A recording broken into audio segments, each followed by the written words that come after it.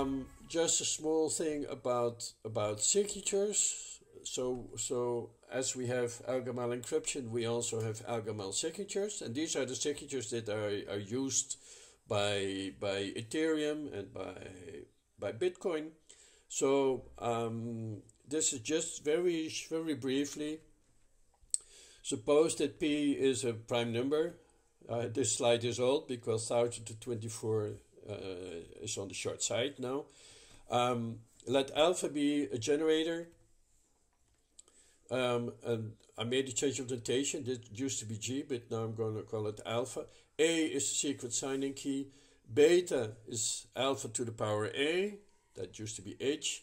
And so P, alpha, and beta, they, they are public. This is, this is the, you can think of this as the public key, and you can think of the lowercase a as the private key. And then the signature on, on a message, that's X be the message in this context, um, or it can be the hash. I'm going to talk about that uh, in a couple of minutes. Um, so we, we want a signature on X, where X is an element also modulo P. Then K is going to be chosen random number. We're going to compute gamma which is defined as alpha to the power k modulo p. And we're going to compute delta, which is this equation here. It's like um, x minus a gamma multiplied by the inverse, the, multi, the inverse of, of k modulo p minus 1. So, so you must take care. This is modulo p minus 1. Um, and so the signature on x will be the, the pair gamma and delta. So what does the verifier, the person who receives the, the signature, what does it need to do? Well, it will compute beta to the power gamma times gamma to the power delta and checks whether this is equal to alpha to the power x. And so why does this work? Well, if you if you check out the definition, then you see that um, beta by definition should be alpha to the power a. Remember, a is like the, the private key. Uh, by definition, so this is times gamma using this equation. And, um, well, the, the math turns out beautifully. So this is a simple, simple check you can do by yourself. This um, the previous signature scheme has been standardized, which is called the digital signature algorithm. Um, the DSA, the original DSA, made an improvement on on on the Elgamal scheme, which was shorter. It leads to shorter signatures.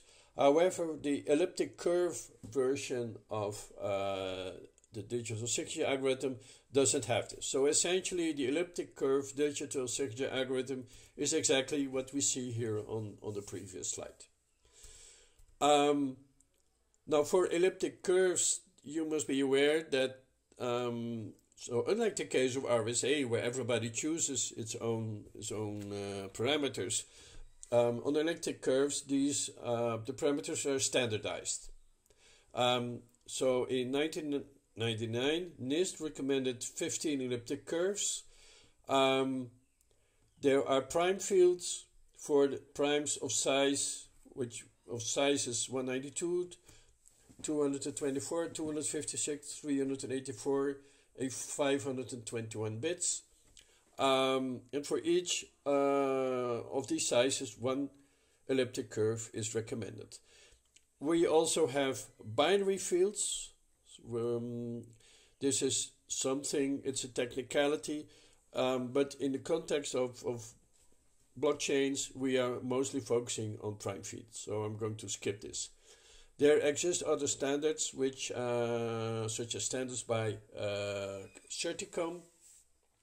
However, you should be aware that some of these products uh, are patented. Um, Ten years ago, Snowden showed that um, one specific um, standard at NIST had been compromised. And this is this led to some suspicion about the definition of the elliptic curve standards. So this is now why do why we do have some alternative elliptic curve standards, such as um, the curve 25519, which stands for 2 to the power 255 minus 19, which is a prime number. Um, and this curve has been adopted by Signal and, and WhatsApp for the Whisper protocol because it was felt that um, this curve wasn't being tampered with by, by the United States government. Um, one specific remark I'm not mentioning here the, the BN curves, which are specific for pairings. This will I will discuss this at a later stage. So um, in the in Bitcoin uses the following standards. It uses the elliptic curve digital signature algorithm with this specific standard, which I mentioned on the previous slide, and it uses the SHA-256 um, hashing algorithm. It also uses hash functions to compute the, the private key as a Bitcoin address. Ethereum, for its signatures, uses elliptic curve digital signature algorithm, the same curve but a different hashing algorithm.